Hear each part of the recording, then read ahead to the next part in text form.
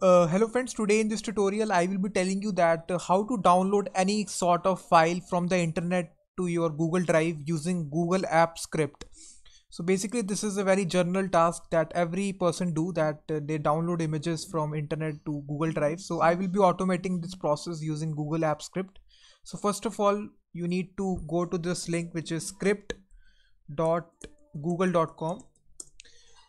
So you need to create a new project for that. So just click on new project and then you will be redirected to the script editor. So here you will be writing the code for doing that. So i will be making a new function here. So let me just zoom in so that you can see. Function download file. So inside this function we will be writing the logic in order to download the file from the internet and save it to your google drive and I have made a folder here called as the images. So just make an empty folder from here. Just click on new and create a folder. And now first of all inside this uh, function we just need to declare some variables. First will be the file name which will be empty for now. So just declare it empty. And the second variable will be file size. So it will be holding the size of the file which we will be downloading so these are two variables. And now we will be making a simple http request to the internet for fetching the resource. So this will be url fetch class url fetch app class. And there inside there is a method which is dot fetch.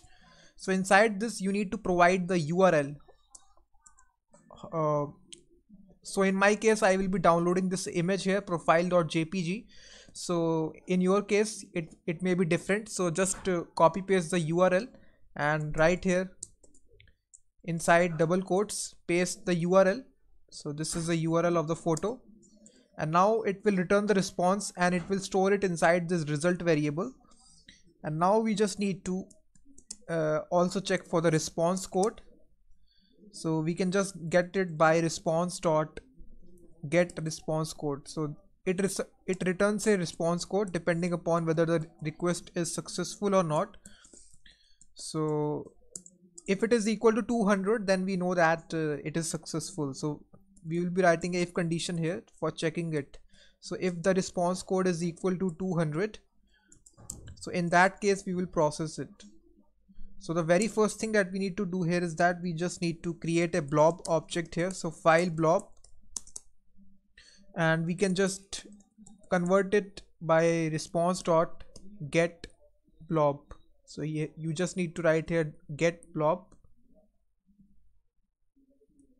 So response dot get blob. So just wait here. Get blob.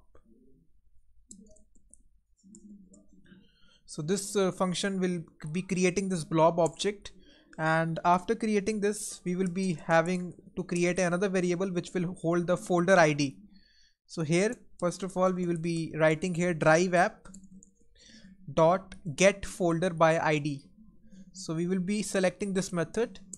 So we will be selecting the folder uh, of its id we will be providing the folder id here. In order to get the folder id is very easy. Right click it and get the shareable link and it is copy pasted so here you will see that after the id is equal to this is the folder id so just copy this id and paste it here.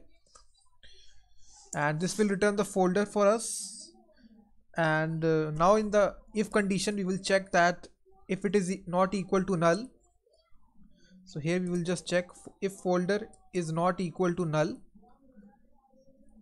So in that case it it just means that we have got the folder and now we just need to save this file onto our Google Drive. In order to save the file first of all we will create it by folder dot create file. So we will use the create file method. So and we will pass the blob object that we have created which is stored inside file blob. So after creating the file in the google drive we will get the file name and store it inside the variable that we have constructed file name. So file dot get name. So basically it will get the name of the file which has created. And in order to get the size file size it is very simple file dot get size.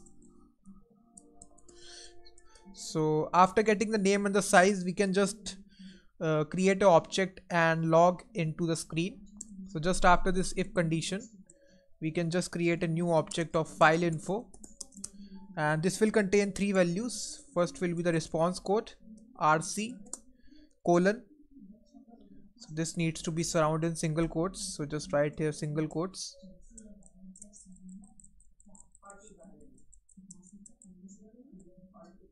Rc and the second property will be the actual file name. So here we I, I will write here file name. So this will be file name and the third property will be the file size. So here we will write the file size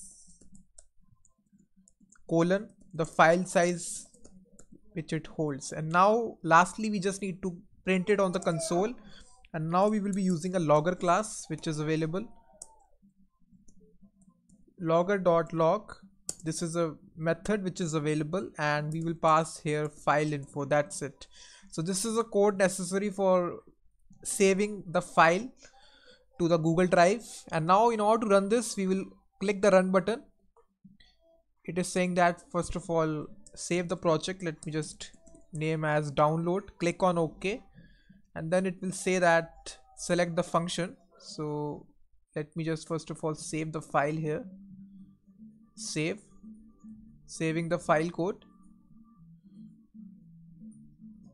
And click on run button. So you will you have to provide the permissions first of all if you run the project. So i will provide the permissions. So sign in with my account here. So click on advanced and uh, go to download. So just do this stuff and allow the permissions. You can see that. Allow it. After you can see that running this function download file. So it is saying that response is not defined on line 8 oh sorry we have called it as result. So that is the error here. So just change this to result. Now it will be okay again run this. So again I have named this as response. So I think that what can I do here is that I can just change this result to response. One change here. Click on the run button again and hopefully it will download the file from the internet. You can see that the process is complete. Let me just check here. You will see that this images folder has got an image here profile.jpg and now if I check my log here by going to view logs you will see that the response code was 200 file name was profile.jpg and the file size was uh, these much these much of bytes. So in this way guys you can just download any sort of image from the internet let me download one other image for just reference here. Let me go to my website coding shiksha and take one other image for example. And let me just download this image.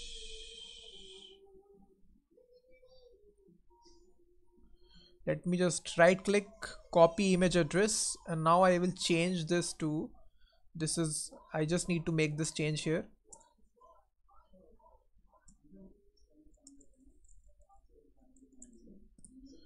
and uh, I will be running this function once again. And now you will see that the second image will be downloaded and populated inside this folder.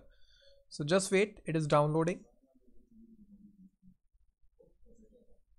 So you will see that guys this photo has been downloaded. You can see that .jpg and again if I check the logs folder by going to logs here you will see that this time the response code is 200 and file name has changed and the file size is greater than you can see that. So in this way guys very easily you can just download any sort of image file from the internet and save it automatically to your Google Drive without having to interact with any kind of API you just need to write this code that I have shown to you in this video. So thanks very much for watching this video. If you like this video then please hit the like button. And also don't forget to subscribe the channel and tapping the notification bell icon. And I will be seeing you in the next video. Until then thank you very much